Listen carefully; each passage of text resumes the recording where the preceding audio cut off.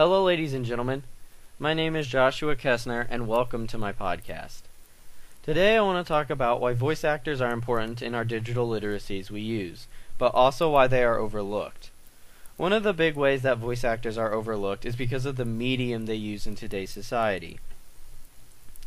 In the book Understanding Digital Literacies A Practical Introduction by Rodney H. Jones and Christoph A. Hafner, on page 99 in chapter 7 they state the crux of the concept of mediation is that we cannot interact with the world without doing it through some kind of medium, and the media that we use play an important role in determining how we perceive the world and the actions we can take.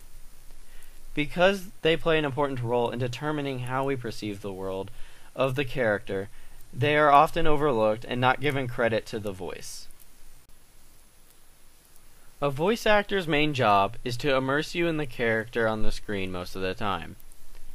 In the book The Magic Behind the Voices, a who's who of cartoon voice actors, by Tim Lawson and Alisa Persons, they state on page 6 Adler claims to be clueless as to how many voices he has created, stressing that the emphasis is not on doing a voice as much as determining the many elements used to create a character.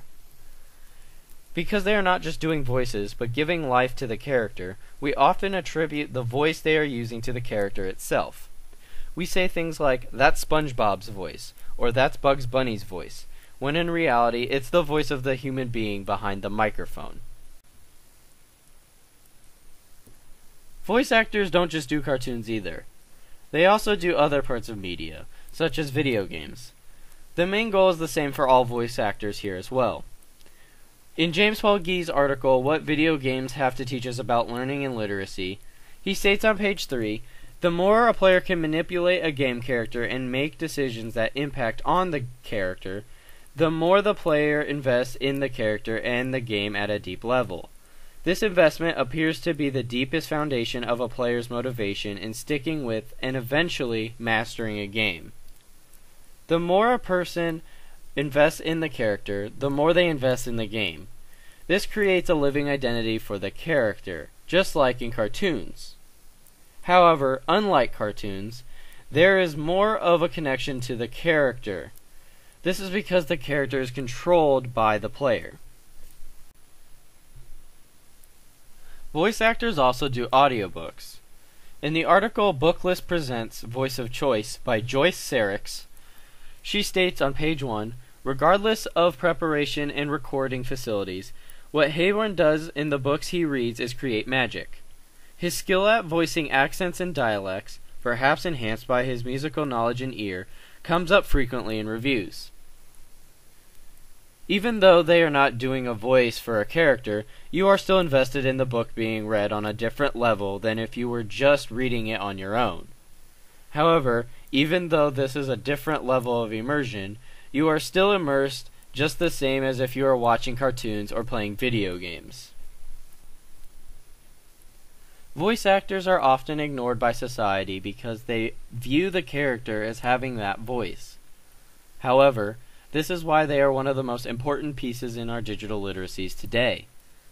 I have noticed that when I watch a movie or television show, I in fact subconsciously know that the actor is playing that character.